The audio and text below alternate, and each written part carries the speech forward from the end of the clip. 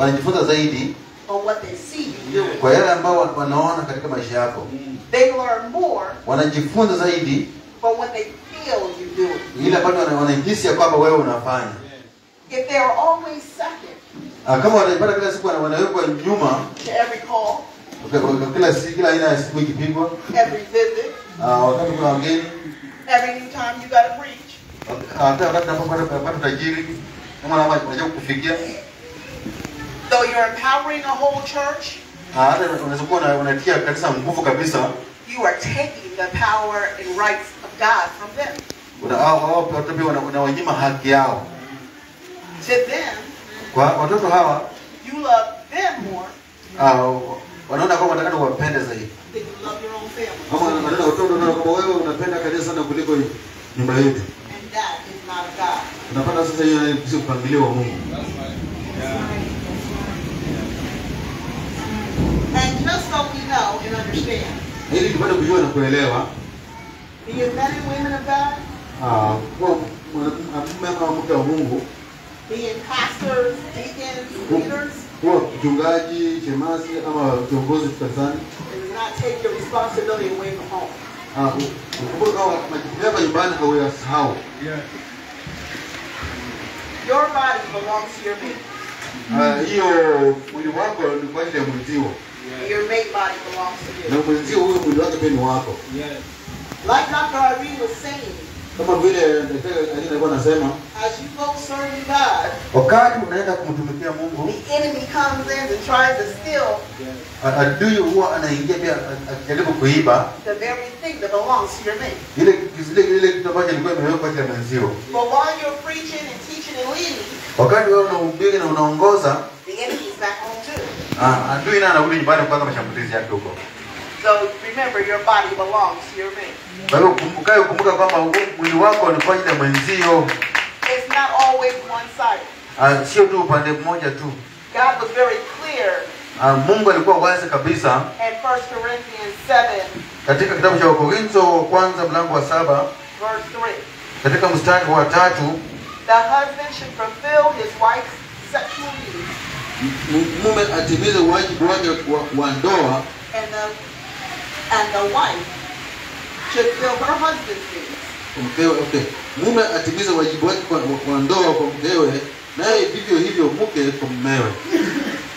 The wife gives authority over her body to her husband, Mwanamke hana mamlaka juu ya mwili wake, bali mmewe. and the husband gives authority over his body to his wife. Wala mume hana mamlaka juu ya mwili wake, bali mkewe. You notice that interesting word is Uh, umeona hii ni mstari wa ajabu Mungu alipeana, you don't take it, hauchukui you don't demand it, au au au haushurutishi ama udai, you give it. unampeana. Wives, it's our right to give authority of our bodies to our husband. Um, as, It's our right to. It's an honor to. ni haki yetu ama ni heshima kupeana mili zetu kwa ajili ya wenzetu. Na Mume wangu ni heshima. to give your bodies to your wives. So nyinyi nyinyi wa- wanaume ni heshima nyinyi kupeana mili zenu kwa ajili ya wake zenu. This honor is only beautiful. Ah, heshima ni inapendeza sana. It's only blessed Ime- Imebarikiwa tu kama imeanzishwa na Mungu. In that Na ule wakati ambao Mungu alisema. Lakini kabla hujaoleka, hata kama time. Mungu anasema huo wakati bado. Hata kama mko mipango ya harusi inakaribia, it's God's timing, not yours. mpaka wakati Mungu ufike, si wakati wako. But the interesting thing Lakini kile kinashangaza sana, of giving authority of your body au ile kupeana mamlaka ya mwili wako to your mate, kwa mwenzio, that's not always sex. ah, sio tu kwa wakati kuwa na tendo la ndoa.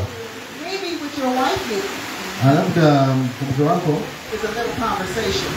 ah, ni ile kuwa mazungumzo, Maybe what your wife labda kile ambacho mke wako anahitaji is help with the children. ah, kuwa na watoto wako, Tusaidie kwa watoto. Maybe what your husband needs labda kile mume wako anahitaji ni kuwa lile sikio la kuelewa kuliko kuwa maswali maswali mengi. Maybe what your husband needs labda kile ambacho mume wako anahitaji asi kuingia kwa mazungumzo mengi kupeana mwili wako kwa- mwenzio says, I love you enough uh, ni kwamba nakupenda sana. to give you what you need kukupa kile ambacho unahitaji. when you need it, wakati unachohitaji. and vice versa. na kinyume chake ni sawa sawa tena. You see, my husband doesn't, though he is a deacon, mume wake ni shemasi. he doesn't to travel when he's not having trouble for work. hapendi kusafiri safiri kama kama kama endi kazini But he has gone on mission trips with me. lakini mara nyingi amekuwa kusafiri katika safari za kimishonari